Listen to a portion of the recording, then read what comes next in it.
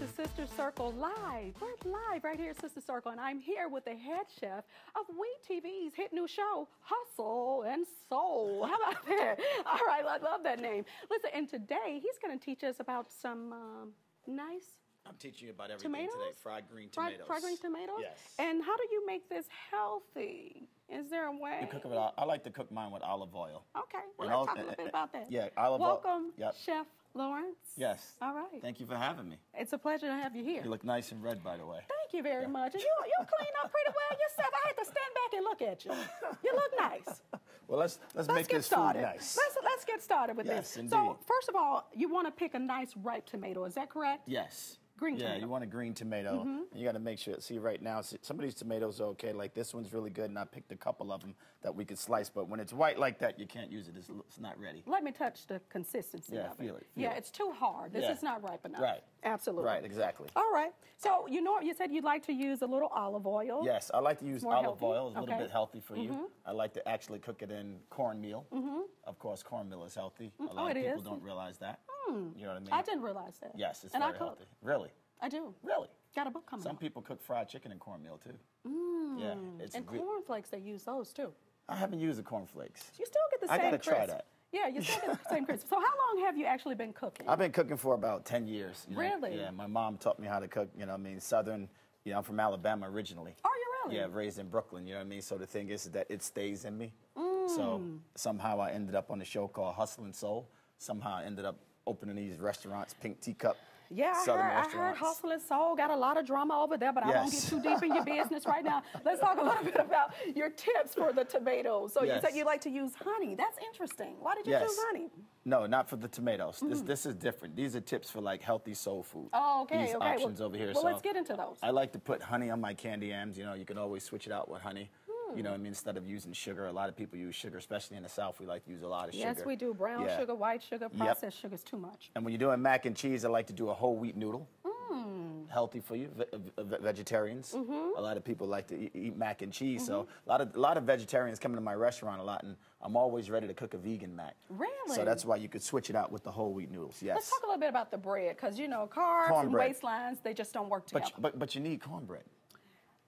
But the carbs, and I need my waistline. Ain't nothing wrong with the hip with the dip. You need that. All right, the hip with the dip and the honey. Okay, go ahead. What do you do to kind of cut back on the fat with that? I like to use vegan butter. Okay. Yeah, it's a lot little healthier for you. Mm-hmm. You know what I mean? So it's, it, it still gives you the fluffiness of Mm-hmm, it. Add a little bit buttermilk to it.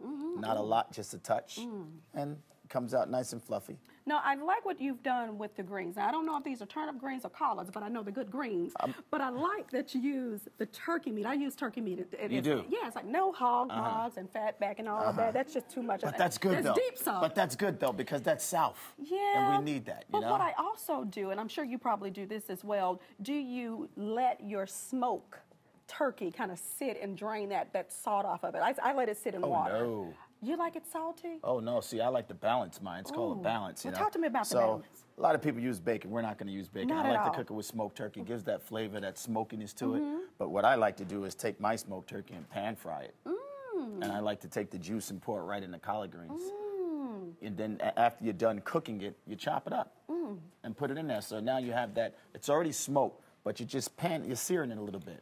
You do, Lawrence, about the, the, the salt, though? Because we know cured meat is very salty at times. Well, I'm cooking for almost like three or four hundred people a day. Oh, okay. You so need it is big just pot, so it balances out. It yeah, it balances out. All right, and then let's get a little bit, uh, do a little bit more about these tomatoes here. Okay, these fried green tomatoes. We have some over here already cooking. Mm-hmm. You know what I mean? So I already prepared it for you because I knew you were coming. Yes. So- Oh, you knew I was coming. Yeah, See, yeah. you know, I was this- up, I was up early in the morning. You know, this for you. is my job. I knew you was coming, Miss Quad, so I made those tomatoes. Yeah. But I would love to taste them. Can I get my sisters to come on in uh, and have a taste of Lawrence's um, nice fried green tomatoes? In the midst of this, you talked a little bit about the pink teacup. Yes. What's going on over there? Pink what teacup. cooking yeah, in here? Pink teacup is Let in us try Miami. those. Grab so me that y'all gonna y'all gonna Lawrence. try these at the locates uh, Pink teacup Chef. in Miami. Okay. Yes. Look, hey, beer gang. These women, try those. These at least women.